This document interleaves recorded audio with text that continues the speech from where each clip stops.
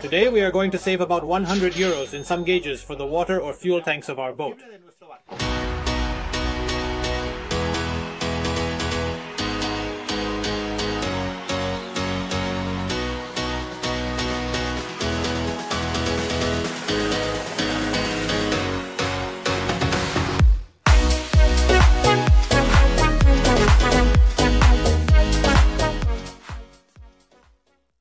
Greetings sailors and welcome to a new episode of the Low Cost Sailor. In today's episode we are going to learn how to install level gauges for any of the tanks of our boat. In my case, I have installed a pair in the freshwater tanks, but the procedure and the devices are the same for any of the boat's tanks, such as the fuel tank. And some of you will not believe it, but for today's episode, you don't need Wi-Fi. It's going to be the old-fashioned way, with those needle gauges that will give us the level and that we will install on our instrument panel. Retro, isn't it? Very retro, with a gauge but electronic. All this spending about 30 euros, more or less the half of what it would cost in a nautical store the devices and much less than what it would cost to have it installed by a professional. That's sure, I do not say that not. It would do it better than us. A greeting for all the installers, do not hate me, I am not going to deceive you. The level gauges are not a fundamental instrument either, but when I saw all those modern boats that have all those level gauges on the tanks, I was a little bit envious. If you don't have one in the fuel tank, maybe it is an essential element. And having two freshwater tanks that only had a little window to look out of, and not much to see through it to know how full they were, so I decided to mount one. In terms of comfort, they are really comfortable and will be able to save you from some uncomfortable situations where you don't want to run out of water.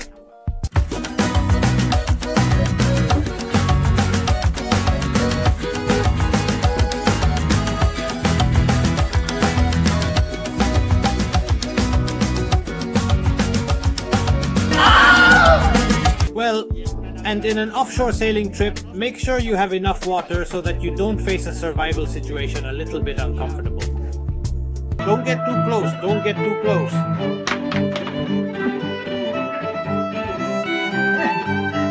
But let's see what we'll need. Let's start with the shopping.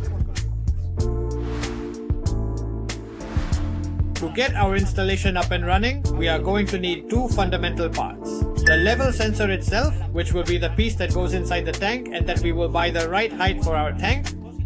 So, before buying the sensor, we will measure the height of our tank and we will choose the most adjusted to our height, which will always have to be a little smaller than the height available. I have chosen some of very good quality and vertical float finish, which seem to me to be the most reliable as they have no mechanical parts beyond the float itself and are identical to those that you can find in any nautical store, but cost about half as much on AliExpress. Mine cost about 10 euros each. The next fundamental piece is the display. Here there are to choose colors, graphics or even with digital numeric display. I have chosen one of those quite elegant needle ones, matching the color of the boat. It is white. The most important thing to keep in mind is that there are two standards for these sensors, from 0 to 190 ohms or from 240 to 33 ohms, and that both the sensor and the gauge will have to correspond to the same standard. I screwed up the first time I took the lever from 0 to 190 and the gauge from 240 to 33. So when I got them, they were reading very very strange things. And that's the main reason why I have two control tanks, because I had to buy the opposite set of 0 to 190 for the gauge and 240 to 33 for the sensor. And additionally, we will need enough cable, two wires can work well, like telephone cable, but I recommend, as in other occasions, that you use UTP cable of 8 wires. Surely we will also need a switch if we want to activate or deactivate them independently to our pleasure. Although they consume really little, with what you can also connect it directly to the you can also connect it directly to the switch of the main pressure pump. A few tools as well, which will include a drill and a crown. A crown of about 54 centimeters. A crown for the drill. A crown to make holes with the drill. Well now we just have to wait a couple of weeks and everything will arrive. It's been a couple of weeks and all the stuff has arrived. Basically we have received two pieces. a small box with the indicator gauge, and an elongated package with the level sensor itself, which created some laughs in the office when they saw it wrapped. it was a bit a bit oddly shaped package. Well, strange. Well, a package shape. The level sensor comes quite protected. If you look at the sensor, it comes with the installation gasket and 5 stainless steel screws. If we remove the protections, we see that it looks very good, it seems to be of good quality and all the finishing is in stainless steel. Being the only mobile piece, the float that with the level of the liquid will move between its maximum and minimum position, indicating the filling level at all times. In addition, we have another small box in which what we have is the gauge clock.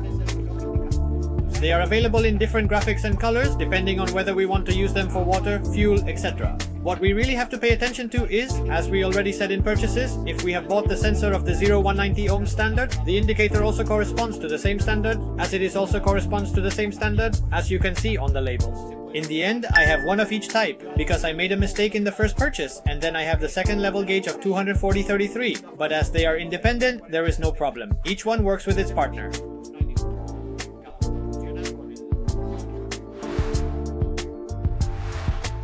And before installing anything, let's check and see how it all works to understand it all clearly. We have our gauge clock that's here which has 4 wires and our wiring diagram which is actually quite clear this time.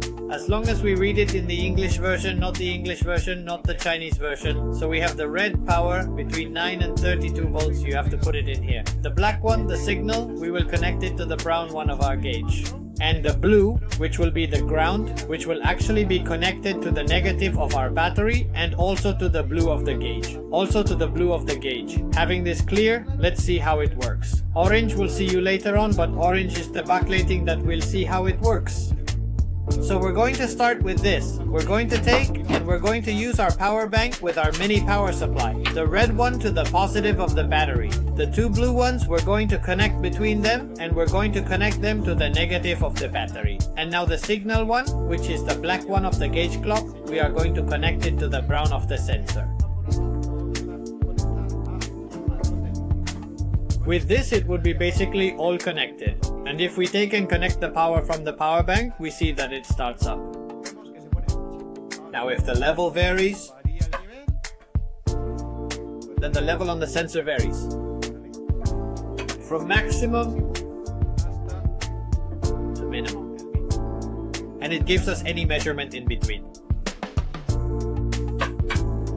Really simple to connect. The cable that was loose, the orange one, can be connected to the power supply, and as you can see, it lights up. But obviously, you can also keep moving the bar, and it will continue to work perfectly.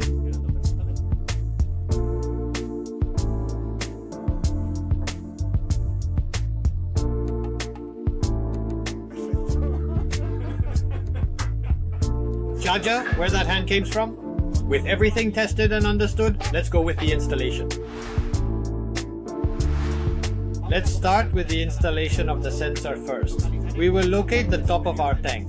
Hopefully there will already be a ready-made location for the gauge with 5 holes corresponding to the SAE standard that our gauge meets. If not, we will have to drill a hole of the appropriate size. In our case, we already had a window for a mechanical gauge that we will remove and clean the place where it was going.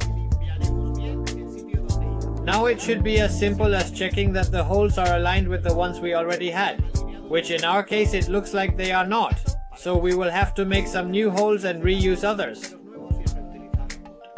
When drilling the holes, be very careful. If it is a fuel tank, especially gasoline, and it is metal, the risk is very high. You would have to empty the tank very well, ventilate it so that there are no gases inside it, and then you could start working. If it is like mine fiber for water, you can make the holes with more tranquility. Although I recommend you to empty the tank in order to be able to suck the, the shavings that may fall into it or put a tupper floating underneath it so that the water is not contaminated. Once the holes are made, we can cover the old ones with silicone, although the gasket will be in charge to cover them in well in any case. We put the sensor in place and put the screws. In my case, I have chosen to put them with screw and nut because the other side is easily accessible through the cover. Otherwise, especially if it is metallic, I would have made a thread in the holes so as not to need nuts. Or I would have used stainless like screws if the tank is made of fiber and I don't have much room to put it in. Now it's time to lay the line. As always on old boats, quite an odyssey. If you're lucky, there will be some cable guides that will take everything to the switch panel and stuff. But honestly, I don't think you're going to have any luck. I've looked for a route that leads from the switch panel to one of the tanks, and from that tank to the next tank. For the cabling, I'm going to use 8-wire UTP cable, because once I have to find a way to take a cable from one corner of the ship to another, it is better to leave the rest of the wires for possible additional inventions I will make in the future. To pass the guides, you will have to use all kinds of tricks. My basic tricks for passing cables through the boat are the traditional cable guide. That works great when there is pipe already in place. An extendable selfie stick for completely straight paths. You can use it to pass the cables. Roll of fine cord and vacuum cleaner. I had to use this trick to pass the cable through the huge gap between the tank and the hull. The tank and the hull. The gap is so big that the flexible guide coiled up and did not reach. The vacuum cleaner attracted very well the thread that was loose and in the end it captured it and I could pass the cable through. Thin wire coil and nut. This works very well when gravity is on our side. If you have to run a cable vertically, this will help us a lot. And finally, with the same roll of thread and nut, we can use a magnet and with the magnet we can push the nut through any place we have left.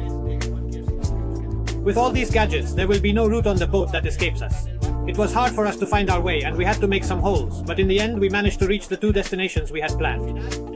But in the end, we managed to reach the two destinations we were aiming for. Finally, we have the cable from the two gauges to the control panel, and on top of that, we have four wires left over for possible extensions and additional devices that we can think of to put in the future and that we will think of. Looking for the right place for the indicators, I have decided that I am going to put them on the side of the switch panel. With the cable already in place, it is time to use the crown. The famous crown of 40 millimeters, that was the one I had, and then as it was a little bit small, I had to go over it with the Dremel for the millimeter I was missing. We put the gauges in the holes and we tighten them with its support. We connect the wires as we saw in the diagram using one of the pairs for each clock and the power supply to somewhere in the boat's battery. I have chosen to connect them to the output of the pressure pump switch so that whenever I have the pressure pump activated on the control panel, the gauges are also working because in the end they use up a lot of power. But you can choose to put your own switch or a push button if you only want them to be activated when you want to use them. And with that, we would have everything working. When I turn on the pressurized water, the indicators are connected and show me the level. They also have a cable for the backlight that I decided not to connect them because in the end you don't use them at night, or at least I'm not going to look in the middle of the night. Is there enough water to go to the toilet or to take a shower? To the toilet. To the toilet. And also that makes them consume even less. The truth is that although it is not a fundamental instrument, to know the level of the water tanks is a really useful thing, and the fuel level, if it is not already, is undoubtedly fundamental if you don't have it. I used to know, basically to know if I had water left or not, I had to wait for the water to stop coming out of the tap, and then I would change from one tank to another, or and I knew that soon I was going to have to refill. Now I feel much more comfortable. I can control much more how much water I have in the boat. One important thing is that this is probably one of the easiest DIYs we have done. As a first step for you to venture out and do this kind of thing, it can be a good way to go. Doing it yourselves is not that you are going to save a lot of money, especially in this one, but one of the most important things is that you are going to get two things out of it. One, the pride of doing it yourselves, knowing that you have done it yourselves and a much better mastery or a much deeper knowledge of your boat than when you are in port and everything is fine, it's not a problem. But when you are out at sea a few miles away, you feel very lonely. And if you have a problem you are going, you are going to have to know how to solve everything. So I hope you liked this week's video. Don't forget to subscribe to the channel, give us a like. You can recommend us to any of your friends. The truth is that we need new subscribers like a breath of fresh air, so we look forward to see you in a new episode of The Low Cost Sailor.